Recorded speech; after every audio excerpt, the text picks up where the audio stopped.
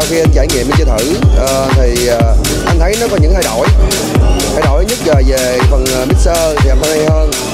Nó cũng kết nối cái sau linh vô để nó có thể kết nối nó có thể phát ra được loa bluetooth là hai.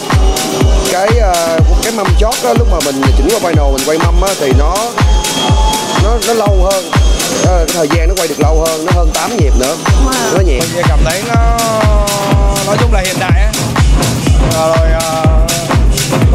có nữa mà nó vẫn có cái giá trị truyền thống cũ. Đó là, là nên là anh em đi chơi uh, người cũ vẫn có thể xài được người mới mình cũng vẫn có thể update. Nói chung là vừa có cũ vừa có mới. Nói chung là number one.